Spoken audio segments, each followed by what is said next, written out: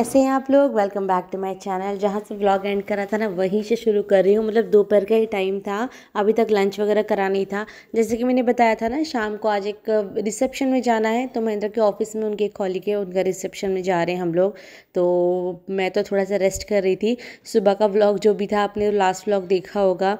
And अगर नहीं देखा तो प्लीज़ वो देखना। अगर ये व्लॉग अच्छा लग रहा है लाइक प्लीज़ एक करना यार। एंड आप लोग भी कमेंट करके बताओ, क्या कर रहे हो? कहाँ पर हो? स्कूल ओपन हुआ कि नहीं कैसी गर्मी है कैसी हाल चाल है?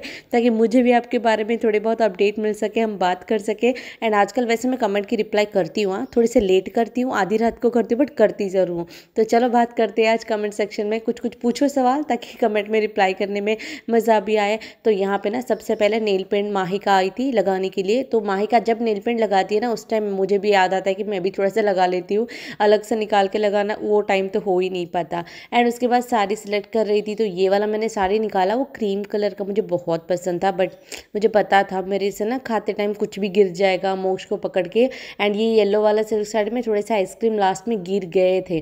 तो इसी के लिए वो क्रीम कलर का नहीं पहना था एंड ये येलो के साथ ना ब्लाउज़ मैच कर रही थी। इसका जो ब्लाउज़ था वो नौ साल पुराने मतलब नौ साल पहले स्टिच करा था यार, उतनी ज़्यादा मोटी नहीं हूँ बट मोटी तो हुई हूँ, नौ साल पहले जैसी थी, अभी वैसा नहीं हूँ मैं। तो वो तो फिट नहीं आता है अभी तो वो पूरा मतलब नया वाला जो था ना, वो मैंने लिया है। वो मैंने अमेज़ोन से ही मंगवाया था, बहुत ज़्यादा परफेक्ट मुझे एकदम उसका फिट आया। एंड यहाँ पे माहिका का ड्रेस में बोल रही थी कुछ और पहन ले, लेकिन उसको था कि यही पहनना है। फाइनली एक और ही पहन के गई, लेकिन जैसे बच्चे बोलते थे उनकी मर्ज़ी एंड उसका वही चल रहा था। ये बैग मम्मी ने जो सूटकेस भेजा था, आपने देखा होगा, इससे पहले दो दो आई थिंक इससे पहले या फिर उससे पहले के व्लॉग में तो ये बैंगल्स एंड वो जो पाउच था ना, उसमें शू बैग जैसे अमेज़ोन से हम लोग बाई करते हैं, उस तरीके का ये है। एंड आप लोग उसको यूज़ कर सकते हो। अमेज़ोन पर आई थिंक दो सौ, तीन सौ हो जाता है, दो या तीन को। लेकिन ये मम्मी ने बड़े अच्छे से स्टिच करके दे दिया। ये पर्स भी मैंने माहिका के लिए मंगवाया था, यूनिकॉर्न का है, उसको तो बहुत पसंद आया था यार। ये सारे बैंगल्स ना वहीं पे मैं छोड़ के आ गई थी शादी के टाइम से मतलब ये अभी जो भाई के शादी में गई थी ना, सोनू के लिए, इसके लिए। तो वो सारा कुछ मैंने निकाल दिया है। अभी उसके बाद मैं हो रही हूँ रेडी वो भी कितने बजे? शाम पाँच, साढ़े पाँच पाँच पंद्रह ऐसे में। मुझे ना बहुत टाइम नहीं लगा। इतने में मैंने माही को रेडी करा, मोक्ष को रेडी करा, बाकी सबको रेडी करा। एंड उसके बाद जाके मैं रेडी हो रही हूँ। मोक्ष को खिलाया, पिलाया, इतना कुछ करके उसके बाद ना पंद्रह मिनट लगे होंगे हार्डली मुझे रेडी होने में। उतने में भी दस बार मेरे को आ गया था कि कितना का लेट कर रही हो, कितना लेट कर रही हो। ये आपके साथ भी होता है क्या? तो सबसे पहले मैंने थोड़ा सा ये फेस ट्रिमर था ना, उससे थोड़ा सा मैंने अपना अपर लिप्स वगैरह एंड चिन वगैरह क्लीन करा, क्योंकि मैं नॉर्मली पार्लर जाओ तो थोड़ा टाइम तो बढ़ ही जाता है। फेस थोड़ा सा क्लीन कर लो ना मेकअप बहुत अच्छे से स्मूथ दिखता है बहुत ज़्यादा। मैं पूरे फेशियल हेयर तो कभी रिमूव नहीं करती बट हाँ अपर लिप्स थोड़ा सा एंड आईब्रो भी मैं उतना आजकल नहीं बनवाती हूँ। ऐसे थिक आईब्रोज ही है, मुझे वैसे ही छोड़ देती हूँ अच्छा लगता है। अच्छे से मैंने पहले मॉइस्चराइज़र लगाया। आप भी मेकअप करने से पहले ना, अच्छे से मॉइस्चराइज़र लगाना अपने फेस में, क्योंकि जितना मॉइस्चराइज होगा ना आपका फेस आपका मेकअप उतना ज़्यादा अच्छा लगेगा। साड़ी मैंने पहन लिया बट पीछे की तरफ़ हुक था मेरे से लग ही नहीं रहा था। सब लोग नीचे थे तो जैसे तैसे भी पहना हुआ है बाद में सेट करूँगी। पहले मैंने मैक का वहाँ पर मेकअप फिक्सर एंड प्राइमर जो होता है वो मैंने अप्लाई करा। आप चाहो तो कुछ और भी यूज़ कर सकते हो। लैक्मी का प्राइमर आता है एंड um, और इनसाइड का थ्री इन वन प्राइमर आता है वो सब कुछ मैंने यूज़ करा। उसके बाद मैक का एक लूमी क्रीम आता है वो मैंने लगाया। नाइट टाइम जो भी फ़ंक्शन होता है अगर वो थोड़ा सा लगा लेते हो ना फेस में क्या मस्त सा ग्लो आता है यार। इन सब का लिंक आपको दे दूँगी, आप लोग बाय कर सकते हो, ठीक है? उसके बाद जैसे भी थोड़ा थोड़ा सेट करने के लिए ना क्रीम लगाने के बाद मैं टाइम दे रही थी। उसके बाद एज ए फाउंडेशन शुगर का मैंने लगाया। ये मुझे बहुत ज़्यादा अच्छा लगा, इतने सारे फाउंडेशन लगाने के बाद ना, ये मुझे बहुत अच्छा लगा था।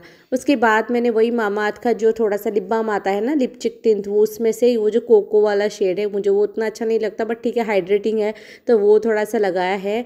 एंड उसके बाद मैंने फिटमी का कॉम्पैक्ट से थोड़ा सा बेस को सेट करा गर्मी गर्मी है तो बहुत ज़्यादा पाउडर पाउडर तो मैंने नहीं करा बट हाँ सेट ज़रूर करा ताकि ऑयली ना दिखे। एंड उसके बाद आई शेडो से एकदम से लाइट से शिमरी शेड लेके अपने हाथ से ही मैंने ब्लेंड कर दिया। आई लगाया, ये भी आई थिंक मामा अर्थ का लाइनर है, ये भी बहुत अच्छा एकदम ब्लैक है एंड स्मच प्रूफ है। एंड आपको इसको निकालने के लिए ना फेस वॉश करते टाइम बहुत ही ज़्यादा आपको मेकअप रिमूवर को ज़रूरत पड़ेगी, ऐसे ही नहीं जाती है आँखों से। फिर यहाँ पे forever fifty two I think है या फिर क्या उसका नाम मुझे नहीं याद आ रहा लिंक दे दूँगी, वो मैंने ब्लश ऑन लगाया। यार मैं आपको मेरा ब्लश ऑन दिखाऊँगी बाद में मोक्ष ने क्या हाल करा था उस ब्लशर का? मेरी तो जान निकल रही थी, बोलो मत। आई थिंक मैं लाइनर एंड बिंदी लाने के लिए ना उस रूम में गई, जो ऊपर वाले घर में दूसरे बेडरूम में, क्योंकि लास्ट बेडरूम में एसी नहीं है। ये वाला बेडरूम में हमने एसी लगाया कि कोई भी आएँगे तो सोए, इसी रूम में सोते हैं मोस्टली माइका के रूम में।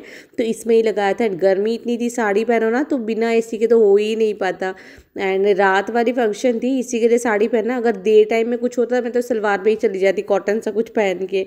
एंड उसके बाद लाइनर लगा के ये भी मामा अर्थ का एक थोड़ा सा मरून काइंड ऑफ़ शेड है एंड वो बहुत ज़्यादा लॉन्ग लास्टिंग एंड लुक भी इससे बहुत अच्छा आता है। बस उसके बाद वही मैक का मेकअप फिक्सर मैंने यूज़ करा एंड लास्ट में मैं भूल गई थी थोड़ा सा हाईलाइटर लगाने का तो अपने थोड़ा सा नाक पे, थोड़ा सा अपने फेस पे हाई पॉइंट्स में लगा दिया है। एक और चीज़, अगर आप ब्रॉन्जोर कॉन्टोर कंसीलर इतना सारा कि आप लोग देख रहे हो तो मैं वो सब कुछ भी नहीं यूज़ करती। मेरा मेकअप यही होता है एंड ये भी मुझे कभी कभी बहुत ज़्यादा लग जाता है। बट इतना तो ठीक है फेस इंस्टेंटली चेंज आ जाता है फेस में एक लुक एंड मैंने साड़ी भी बहुत अच्छे से भी बाँध लिया है। आजकल अच्छी बात यह है कि मुझे साड़ी दस मिनट में मैं पहन लेती हूँ कोई भी सिल्क साड़ी हो कुछ भी मुझे बड़ा अच्छा लगता है। तो बताओ कैसी लग रही हूँ मैं कमेंट सेक्शन में? एंड एक और चीज़ बहुत लोग बोलते थे कि मोना मेकअप का क्या है थोड़ा सा शेयर करो। तो यही है मेरा मेकअप का रूटीन अगर कहीं पर जाती हूँ पार्टी फ़ंक्शन में उतना। अगर नॉर्मल मार्केट में जाती हूँ तो मॉइस्चराइज़र एंड लिपस्टिक एंड आँखों में थोड़ा सा मस्कारा के अलावा और कुछ भी नहीं लगाती मैं।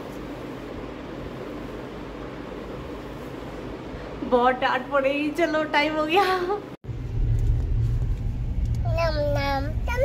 नम नम। नम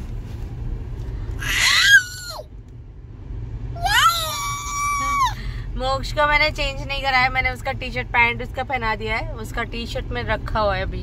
वो सब कुछ गिरा के फिर बर्बाद कर देगा और कितना करोगे? इसी के लिए यही पहना के मैं लेकर आई हूँ। माही का ये देखो। ये देखो? लिपस्टिक चला गया। नहीं मैं भी इयर पहनूँगी अभी नहीं जब उतरना होगा ना तब पहनूँगी मैंने बैग में डाल दिया है। ये ना मैं थोड़ा सा लंबा वाला लेकर आई हूँ ना ये पूरा खींच लेता है इसी के लिए। और क्या हड़बड़ी हड़बड़ी। इतना ज़्यादा बोलो मत। और ये क्या मुझे लगता है मैं सलवार कमीज पहन के आ जाती है तो साड़ी का पूरा सत्यानाश कर दे रहा है मोक्षित बैठ के। पूरा सारे साड़ी का फोल्ड पता नहीं कैसे कैसे कर दिया है। और हमें करीब और एक घंटा लग जाएगा शायद। हम लोग जा रहे हैं वीजीपी की तरफ़। देख ना मुठी को ना वीजीपी इसको ना मैंने ये जो क्या होता क्या बोलते वो फ्राइज कुछ था, उसको स्नैक्स लेकर आई हूँ मैं माहिका के लिए तो वही थोड़ा सा देर बैठता ही नहीं है। पता नहीं दूसरों के बच्चे कार में बैठते ही सो कैसे जाता है, ये सोता ही नहीं है, इसको बहुत मुश्किल से सुलाना पड़ता है। स्कूटी में लेकर जाओ ना, मोक्षित को वो बहुत शांत होके बैठता है, बिल्कुल भी परेशान नहीं करेगा, आवाज़ नहीं करेगा, कुछ भी नहीं। और उसको कार में लेके जाओ मतलब उसको बैठना ही नहीं होता है, उसको हर चीज़ में हाथ लगाना, या तो फिर वो नीचे ही चला जाएगा, नीचे बैठ जाएगा। ये देखो। अभी इसको मैंने थोड़ा थोड़ा ये दे रही हूँ ना तो शांति से बैठा हुआ है वरना बहुत ज़्यादा मुश्किल है इसका देखो हरकत है इसके।